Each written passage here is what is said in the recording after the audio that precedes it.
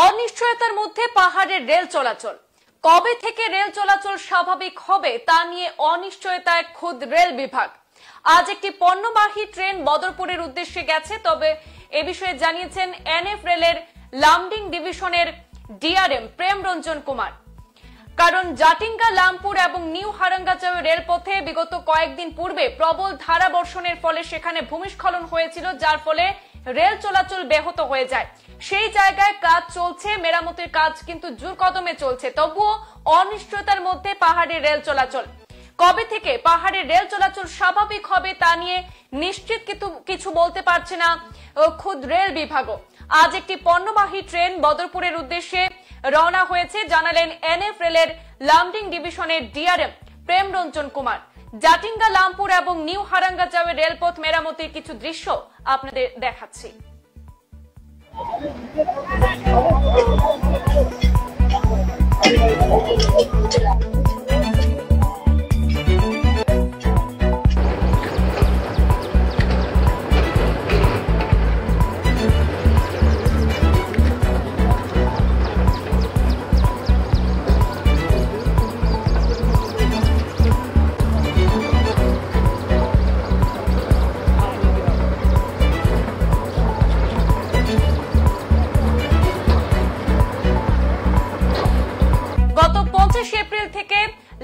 বদরপুর পাহাড় লাইনের জাটিঙ্গা, লামপুর এবং নিউ হারাঙ্গাজাওয়ের মধ্যে প্রায় একশো মিটার যে এলাকা, সেখানে ভূমিস্খলনের ফলে রাস্তা ব্যাহত হয়ে পড়ে, রেল চলাচল বিঘ্নিত হয় সেখানে।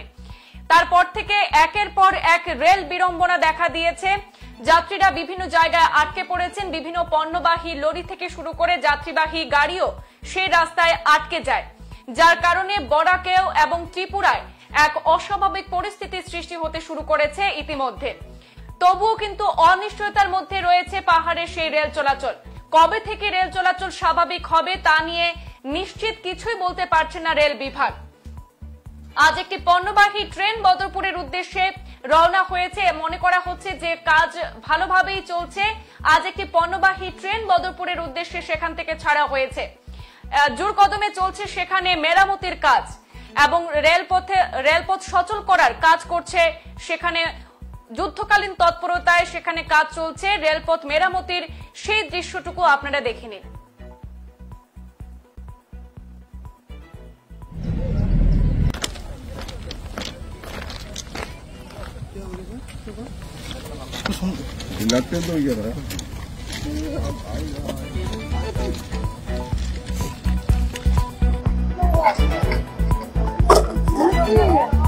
Oh. नीचे हो गया वापस।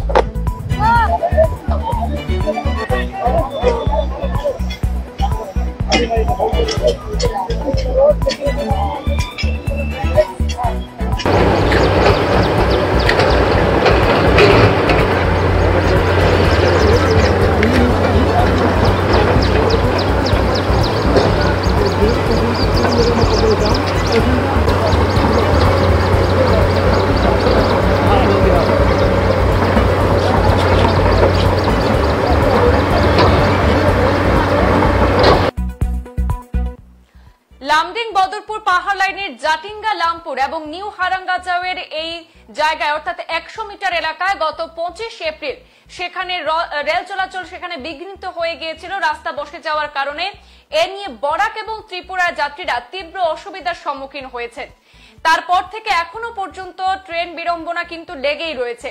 যদিও ওই এলাকায় মেরামতির কাজ যুদ্ধকালীন গতিতে চলছে, কিন্তু কবে থেকে রেল চলাচল স্বাভাবিক হবে তা নিশ্চিত করে বলতে পারছে না স্বয়ং এনএফ রেলের লামডিং ডিভিশনের ডিআরএম প্রেম রঞ্জন কুমার।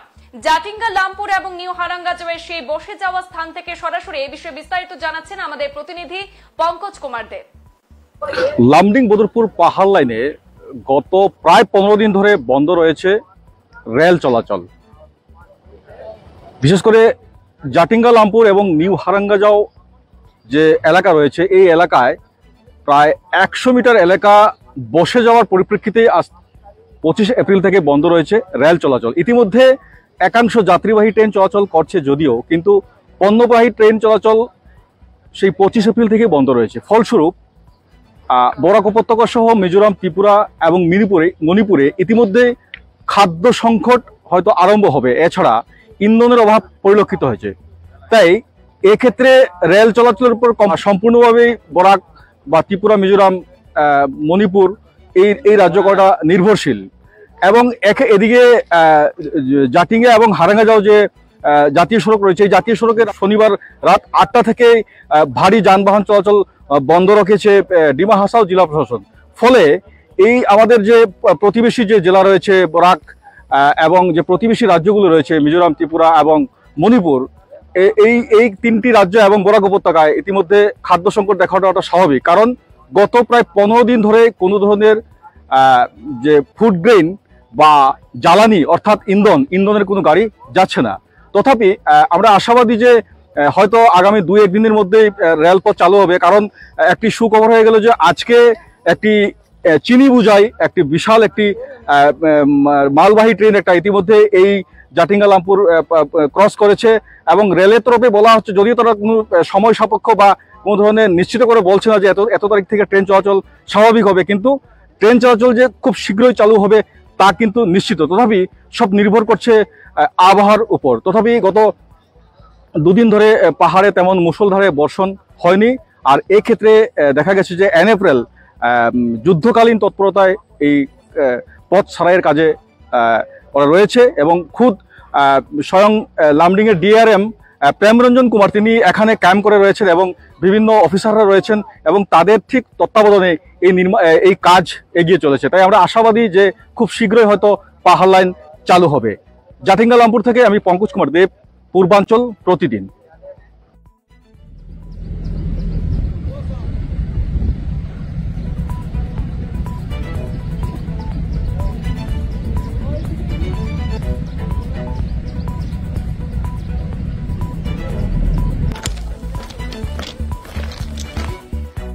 বিধ্বস্ত সেই জায়গা, অর্থাৎ জাটিঙ্গা, লামপুর এবং নিউ হারাঙ্গা জামের সেই বসে যাওয়া স্থান থেকে আপনারা সরাসরি বিস্তারিত শুনলেন আমাদের প্রতিনিধির কাছ থেকে। জানা গেছে যে সেখানে কিছু যাত্রীবাহী ট্রেন চলাচল ইতিমধ্যে শুরু হয়েছে যদিও কিন্তু পণ্যবাহী যে ট্রেনগুলি রয়েছে তা কিন্তু এখনও পর্যন্ত চলাচল স্বাভাবিক হয়ে ওঠেনি। যাত্রীবাহী ট্রেনও স্বাভাবিক নয়, তবে কয়েকটি ট্রেন সেখানে মোটামুটি চলাচল করছে। তারপরেও কিন্তু যাত্রী দুর্ভোগ চরম আকার ধারণ করছে। কারণ সবকটা লাইনে এখনও পর্যন্ত যাত্রীবাহী যে রেলগাড়িগুলি রয়েছে, সেগুলি চলাচল এখনও পর্যন্ত শুরু হয়নি। সেই সাথে পণ্যবাহী লরিগুলিও রাজ্যে প্রবেশ করতে পারছে না। অন্যান্য রাজ্য থেকে পণ্যবাহী যে গাড়িগুলি আসে, বরাক এবং ত্রিপুরায় এছাড়াও মিজোরামে সেই গাড়িগুলিও কিন্তু পৌঁছাতে পারছে না। যার কারণে ইতিমধ্যে বরাক সহ ত্রিপুরা রাজ্যে খাদ্য সংকটের একটা আশঙ্কা ইতিমধ্যে দেখা দিতে শুরু করেছে। এ নিয়ে আমাদের প্রতিনিধি বিস্তারিত জানিয়েছেন আমাদের সেই জায়গা থেকে সরাসরি। সেখানে জোর গতিতে চলছে সেখানকার উদ্ধার কাজ রাস্তা মেরামতের কাজ চলছে, রাস্তা মেরামত করে রেলপথ সচল করার কাজ চলছে সেখানে। বিভিন্ন আধিকারিকরা সেই জায়গায় গিয়ে উপস্থিত হয়েছেন বুধবার জাটিঙ্গা লামপুর সেই ধস বিধ্বস্ত এলাকায় দাঁড়িয়ে সাক্ষাৎকার দিয়েছেন ডিআরএম প্রেম রঞ্জন কুমার তিনি বলেছেন যে আজ একটি পণ্যবাহী আহ, ট্রেন বদরপুরের উদ্দেশ্যে সেখান থেকে ছাড়া হয়েছে কিন্তু ট্রেন চলাচল কবে থেকে সেখানে স্বাভাবিক হবে তা এই মুহূর্তে বলা যাচ্ছে না আমরা শুনে নেব ডিআরএম প্রেম রঞ্জন কুমারের মন্তব্য देखिए फुल रिस्टोरेशन में तो टाइम लगेगा। आज हम लोग पैसेंजर ट्रेन चला रहे हैं। आज एक गुड्स ट्रेन भी हाफ़ रेक शुगर का गया है। तो उसके कारण एम्बैंकमेंट पे थोड़ा इफ़ेक्ट पड़ा है। हम लोग उसका मेजरमेंट्स लिए हैं और एक्सपर्ट्स को वो मेज़रमेंट पास ऑन किया गया है। वो उसको स्टडी कर रहे हैं कि गुड्स ट्रेन जाने के कारण क्या इफ़ेक्ट हुआ और अगर इफ़ेक्ट हुआ है तो उसको कैसे हम लोग नलीफाई कर सकते हैं। ये हम लोग देख रहे हैं। तो गुड्स ट्रेन तो हम लोग अभी फर्दर बहुत धीरे धीरे चलाएँगे या अभी नहीं ही चलाएँगे। एक्सपेरिमेंटल फ़ेज़ में ही रहेगा। मगर पैसेंजर ट्रेन अभी तक जैसे चला रहे हैं, हम लोग कोशिश करेंगे कि वैसे ही चलते रहे। बारिश को देखते हुए ऑफ़ कोर्स हम अपना मटेरियल लाने के लिए भी इसी पटरी पे निर्भर है। इसी ट्रेन पे निर्भर हैं और उससे हम लोग लिमिटेड अमाउंट में ला पा रहे हैं। एक तो सबसे बड़ा ये है प्रॉब्लम कि अगर ये एनएच चालू रहता तो हम लोगों को सपोर्ट होता उसमें दूसरा प्रॉब्लम है कि यहाँ का जो नेचुरल सॉयल है वो बहुत ही उसकी बियरिंग कैपेसिटी कम है आप सब जानते हैं। और खास करके बारिश हो जाने के बाद उसका बियरिंग कैपेसिटी और कम हो जाता है।